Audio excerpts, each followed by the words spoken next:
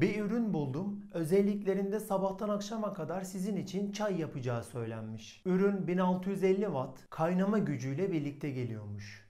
Alt haznesi 1.7 litreye, üst taraftaki hazne ise 0.7 litrelik cam bir demlikten oluşuyormuş.